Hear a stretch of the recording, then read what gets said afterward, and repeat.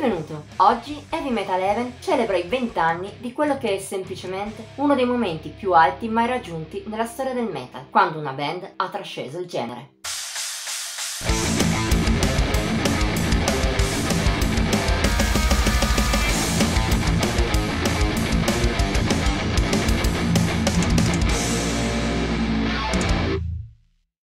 Esiste la perfezione assoluta? Ci sono correnti filosofiche che sostengono di no. Secondo loro nulla è davvero perfetto. Un concetto che si può condividere, ma solo in parte. Se è vero che raggiungere la perfezione è difficilissimo, ciò non vuol dire che sia impossibile del tutto. Il metal ci insegna proprio questo. In mezzo a tanti capolavori ne esistono molti meno senza la minima sbavatura, creati in una congiunzione astrale difficile da ripetere. In tutta la storia del genere sono giusto una manciata. Ebbene, The Mantle degli Agalok riesce persino a spiccare tra essi. In realtà sarebbe più corretto dire che è la band statunitense a brillare di luce propria. Già il primo album, Pay Folklore, datato 1999, era una vera e propria rivoluzione. Ancora vincolato in maniera salda al black metal di quegli anni, già mostrava però il calore e i legami col mondo folk per cui la scena americana sarebbe diventata famosa solo parecchi anni dopo.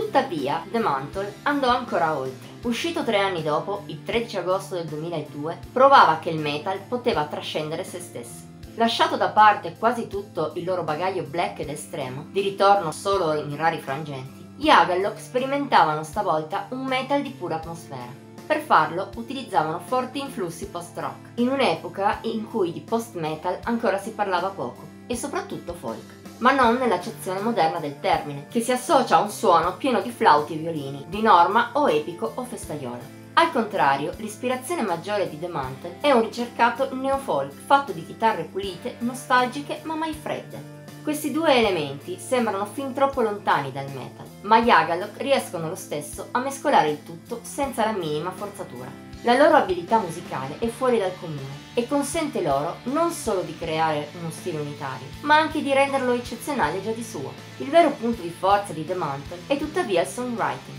Curatissimo in ogni dettaglio, consente agli americani di sprigionare atmosfere di una profondità assurda.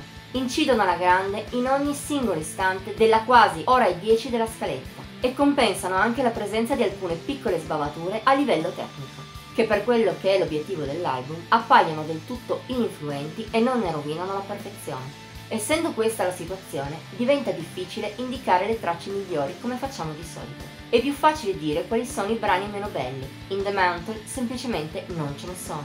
Sanno colpire nel segno anche pezzi meno appariscenti come I Am the Wooden Doors, la canzone più black del disco, che però non manca di sentimento, o come la conclusiva ballata A Desolation Song, tutta chitarra pulita e mandolino ma è anche vero che alcuni vanno ancora oltre. Il perfetto esempio è l'iniziale In the Shadow of Our Pale Companion, la più incredibile rappresentazione di una giornata autunnale di nebbia e pioggerella, vissuta in mezzo a un bosco, ma senza sensazioni di freddo o di timore. La si guarda da dentro una casa calda, accogliente, col fuoco che scoppietta nel camino e al massimo un velo di meravigliosa melanconia ma non sono da meno pezzi come la straziante e dolorosa You Were But a Ghost in My Arm, in cui si respira profondo il senso di perdita, di desolazione, seppur il calore tipico degli Agalok non venga meno.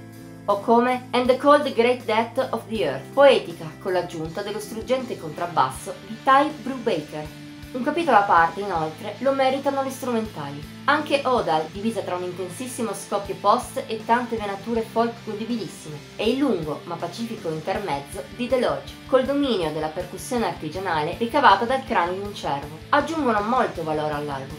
Tuttavia, l'apice assoluto in questo ambito è The Hawthorne Passage, affresco di pura emozione post-metal, è incredibile sia nella prima, triste parte, che nell'esplosione quasi gioiosa del potentissimo finale. Insieme a In the Shadows è il brano che spicca di più, anche in un disco così bello e senza punti morti. Che altro c'è rimasto da dire a questo punto? Più di mille parole, la meraviglia di The Mantle è testimoniata dalla pelle d'occa in tutto il corpo di chi scrive, al termine dell'ascolto, per preparare questa retrospettiva. E non serve molto altro. Parliamo di un disco con cui gli Agalloch trascendono il metal e anche il concetto di capolavoro, andando oltre qualsiasi cosa le parole possano esprimere. Per questo, se ti piace il metal o anche solo la musica d'atmosfera di qualsiasi tipo sia, questo è un disco da possedere, da amare, da venerare. Voto di Heavy Metal Heaven 100 su 100, ma solo perché non possiamo dare di più.